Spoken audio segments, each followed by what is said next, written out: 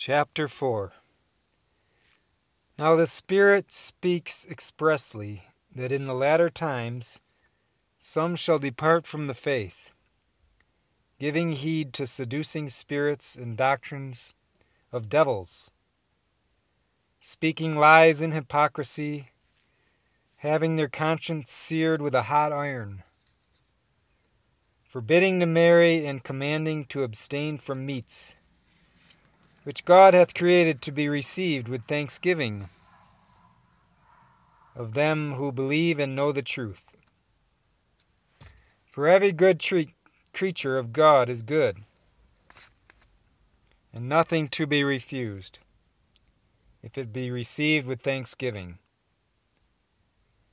For it is sanctified by the word of God and prayer.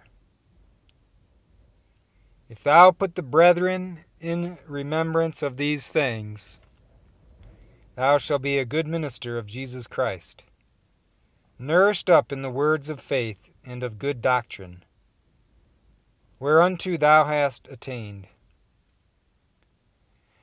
But refuse profane and old wives' fables, and exercise thyself rather unto godliness.